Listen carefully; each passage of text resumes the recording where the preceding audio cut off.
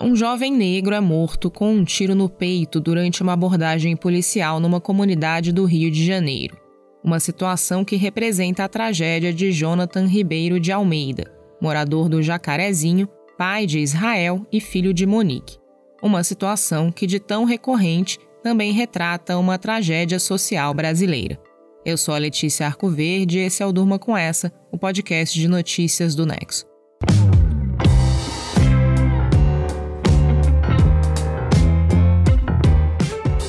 Olá, eu sou o Conrado Corsalete, estou aqui com a Letícia para apresentar esse podcast que vai ao ar de segunda a sexta, no fim da tarde e início da noite, sempre com notícias que podem continuar a ecoar por aí.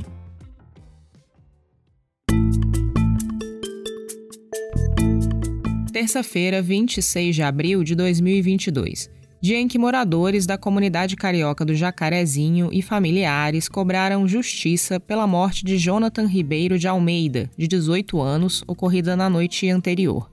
O jovem foi atingido por um tiro no peito e foi levado uma unidade de saúde, mas não resistiu e morreu.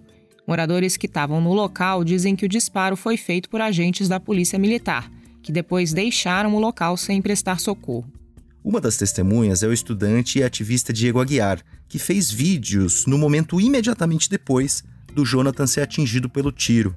Você ouve agora alguns trechos de áudios dessas gravações, publicadas no Instagram pelo Diego. No Jacarezinho acaba de acertar um morador ali, ó. Ó. Que isso, cara? Acertou o um morador, mano. Polícia, polícia! A polícia! Aqui, mano. Que isso, cara? Caraca, olha isso, cara! Olha isso, cara! Olha isso, porra! Enquanto grava o vídeo, o Diego tá correndo até o local em que o Jonathan tá desacordado, rodeado de outros moradores. Dá para ver as pessoas colocando o jovem numa moto para levá-lo até a unidade de saúde. O som ao redor do estudante mostra a comoção que tomou as ruas da comunidade. Na moral, mano, que covardia, velho. Na moral, mano, que covardia, mano. Não aguento mais, mano. Eu não aguento mais, mano. Só querem nos matar, velho. O tempo todo só querem nos matar, velho. O Diego é um jovem negro, assim como o Jonathan. Eles compõem o principal perfil que morre vítima da polícia no Brasil. Os dados mais recentes do Fórum Brasileiro de Segurança Pública mostraram que, em 2020, as mortes por intervenção policial bateram recorde desde que começaram a ser monitoradas, em 2013. Cerca de 13% dos homicídios registrados no país em 2020 foram resultado de ações de agentes de segurança. A maioria das vítimas é formada por homens, quase 80% negros. O Rio de Janeiro é um dos estados em que mais acontecem mortes desse tipo. Segundo o portal UOL, um cabo do batalhão de choque da Polícia Militar do Rio admitiu no registro do caso que atirou no Jonathan sem que houvesse troca de tiros o policial alegou ter visto o jovem tirar uma arma da cintura.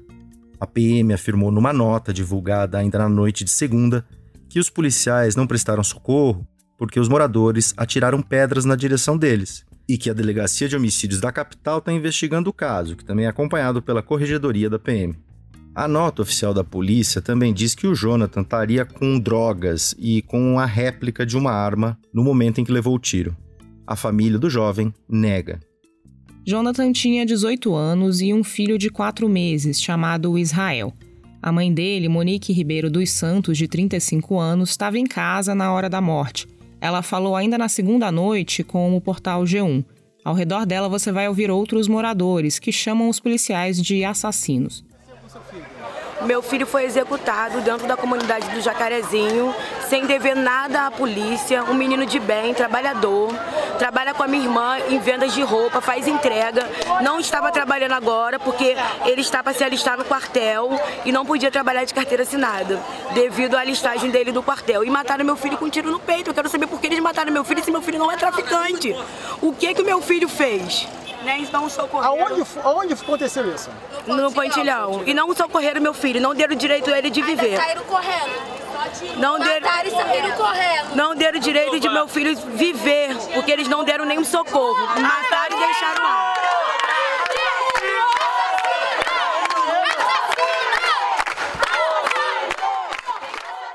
Um vídeo gravado naquela mesma noite de segunda e divulgado também pelo G1 mostra um veículo da PM passando numa rua da comunidade, logo após o Jonathan ter sido atingido. Os policiais estavam rindo e gritando a palavra inferno para quem estava na calçada. Horas depois da morte do jovem, os moradores fizeram um protesto, botaram fogo em entulhos e impediram o trânsito na via da entrada da comunidade.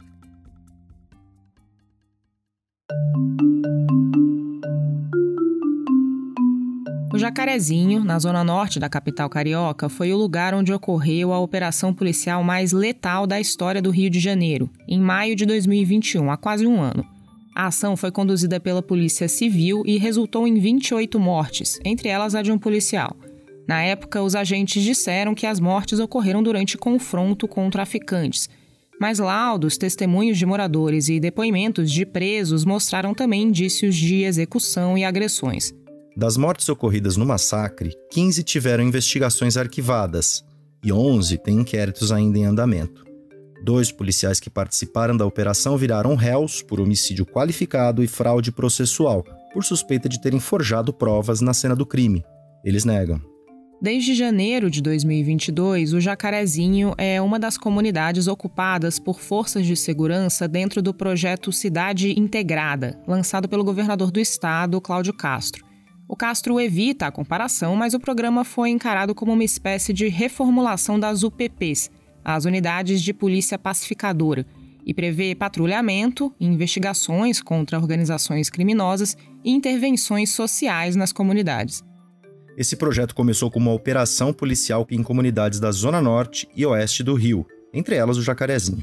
Ao todo, participaram dessa ação 1.200 agentes de segurança com veículos blindados e helicóptero. Na época, dezenas de prisões foram feitas e não houve registro de confronto armado.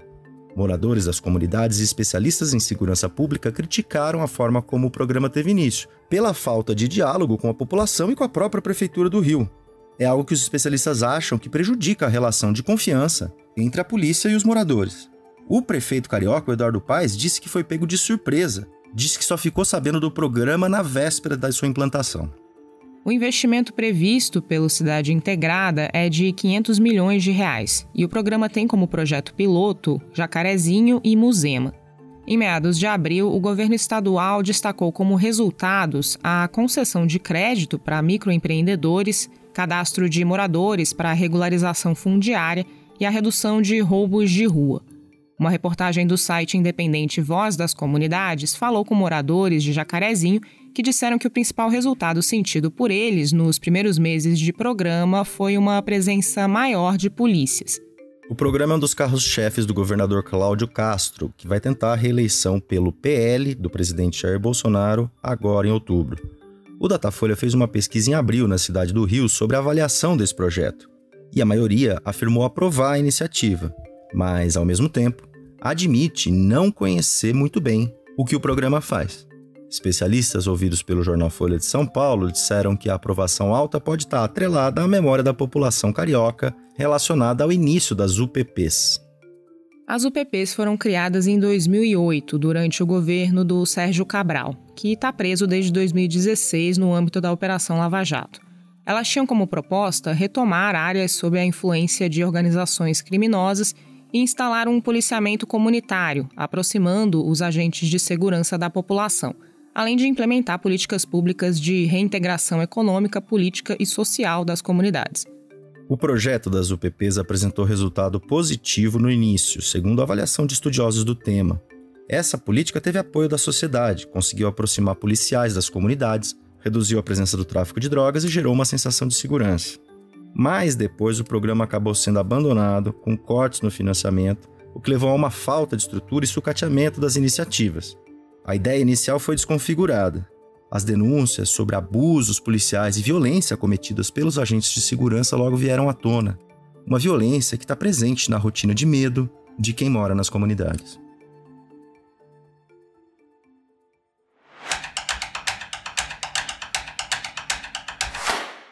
Na segunda-feira, o Twitter aceitou a oferta do bilionário Elon Musk para comprar a rede social por 44 bilhões de dólares. Com a aquisição, que deve se concretizar ao longo dos próximos meses, a empresa vai deixar de ter capital aberto e vários donos e passar a ser controlada inteiramente pelo empresário. O César Gallione escreveu sobre o assunto. César, o Elon Musk disse que comprou o Twitter porque quer mudar umas coisas na plataforma. O que, que ele prometeu até agora? O Elon fez quatro grandes promessas: diminuir a moderação de conteúdo no Twitter por achar que a liberdade de expressão está sendo limitada na rede, tornar o algoritmo do Twitter um programa de código aberto, o que significaria que todos poderiam entender como ele funciona e criar suas próprias cópias, acabar com as contas falsas verificando a identidade dos usuários e também criar um botão de edição das publicações, algo que os usuários já pedem faz tempo. A gente ainda não sabe como, quando e se essas mudanças de fato vão acontecer, já que a transação ainda está tramitando, mas o Elon tem reiterado que quer cumprir todas elas. E quais preocupações essa compra levantou? Os dois pontos que geraram preocupação foram a questão da moderação de conteúdo, com temor de que haja mais propagação de desinformação e discursos de ódio, e a verificação de identidade dos usuários, já que em alguns casos, como por exemplo de ativistas que moram em países autoritários, esconder a própria identidade pode ser importante para trazer denúncias de interesse público. O pesquisador de liberdade de expressão digital Arthur Pericles Lima falou comigo sobre esses pontos. Ele disse que ainda é cedo para especular, mas que a gente deve ficar atento a essas questões. No nexojornal.com.br você pode ler a entrevista completa do César com o Arthur Pericles Lima, que é coordenador da área de liberdade de expressão do Centro de Pesquisas Internet Lab. Excepcionalmente hoje nós não teremos o comentário do repórter especial João Paulo Charlot.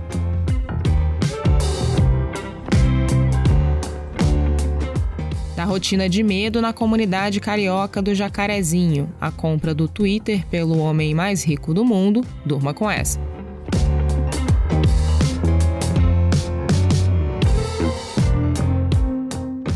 Com roteiro de Letícia Arcoverde, produção de Conrado Corsalete, participações de César Gaglione e edição de áudio de Roberto Soares.